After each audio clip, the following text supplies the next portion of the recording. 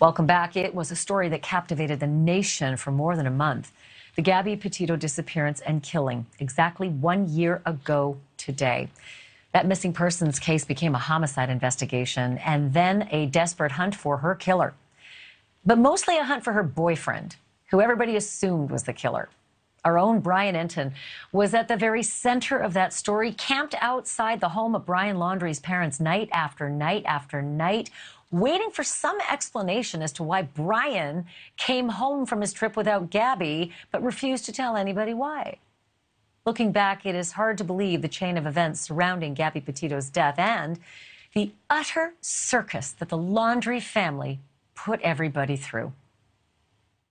Earlier today, human remains were discovered consistent with the description of Gabrielle Gabby Petito. Full forensic identification has not been completed to confirm 100% that we found Gabby, but her family has been notified of this discovery. Gabby Petito's family is devastated. They want answers. They want answers now. Marnie, there were protesters outside the House all day today, but it is very quiet tonight. And it's also quiet at the reserve, at the swamp. A limited search happening now there. We're not seeing the massive search operation that we saw the last several days. Many people now wondering was that search at the swamp a waste of time? Could Brian Laundrie be in a totally different place tonight?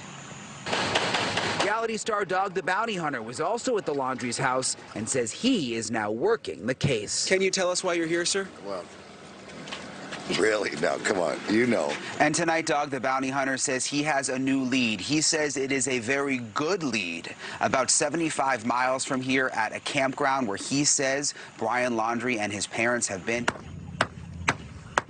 Where are y'all from? Across the street. Or you live in the neighborhood? Hopefully they can see it. There were those white laundry baskets all over the front lawn yesterday and into the evening. You see they're all gone now. Roberta went for certain laundry baskets. Chris went for other items. Uh, and then you remember that sign that you just showed. It was right here. The women across the street, we were out here when they were banging it into the ground on Friday. One of them grabbed the sign and it was like poof, they did it all so quickly and then they went right back inside the house. What I've been doing uh, since we got this new information from the coroner today is trying to piece together what we've seen out here at the house in regards to the last month uh, in, in, combination with this new timeline and what we're hearing uh, from the coroner. And one thing I thought of today, you remember that day several weeks ago uh, when we saw the FBI show up in the morning, they were here about 10 minutes, went right into the back of this camper, had that little vial uh, took something from inside the camper and then left. And then we later found from uh, the Laundrie family attorney that they were here getting something that belonged to Brian for DNA. Well, that all now fits into this perfectly now that the coroner confirmed today that the FBI did take DNA off of Gabby's body.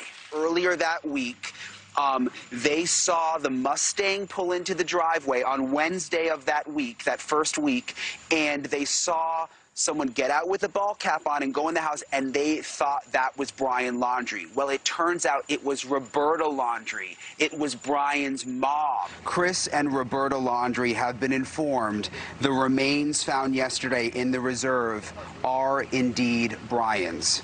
So we now have confirmation the remains found in the reserve yesterday, the skeletal remains, are Brian Laundrie. Did Brian kill Gabby?